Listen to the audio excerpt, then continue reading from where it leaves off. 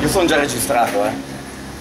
Parliamo di un Verduzzo, di un Oltrepo Pavese, di un Montepulciano Doc, di uno Chardonnay e di una birra. Eno Energy è un'azienda, una start-up innovativa iscritta in un apposito registro della, della Camera di Commercio. Abbiamo diversi progetti.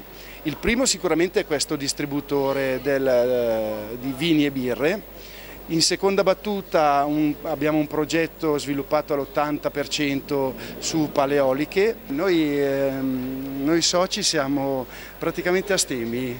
Eh, abbiamo la passione per il lavoro, abbiamo la passione per inventare nuovi prodotti, però in questo, in questo progetto non siamo bevitori di vino. La maggior parte dei prodotti inseriti sono prodotti locali, quindi a chilometro zero, quindi sono prodotti anche senza packaging, quindi eliminando il costo del eh, bottiglie, etichette e quant'altro. Rispetto al, al, normale vino imbottigliato mediamente siamo al di sotto de, del 30-40% rispetto al prezzo di mercato. Noi chiudiamo alle 10 di sera, non vogliamo incentivare il consumo di alcol eh, potremmo sicuramente stare aperti fino alle due di notte, ma eh, la nostra scelta è di dare un buon prodotto alla famiglia e non a gente che vuole ubriacarsi o che vuole fare un abuso di alcol. Noi abbiamo avuto un accordo con eh, la provincia di Lecco eh, per, per, avere delle persone che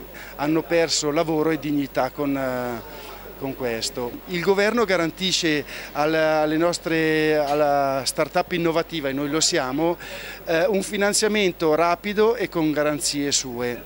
Mentre in questo momento le banche stanno tergiversando, stanno prendendo tempo e sono quattro mesi che noi aspettiamo una loro risposta. I bar della zona non ne risentono nostri, del nostro servizio, Il, um, chi ne risente è la grossa distribuzione, la grande distribuzione penso che mi porta via clienti perché io ho vini buoni di alti livelli, perciò...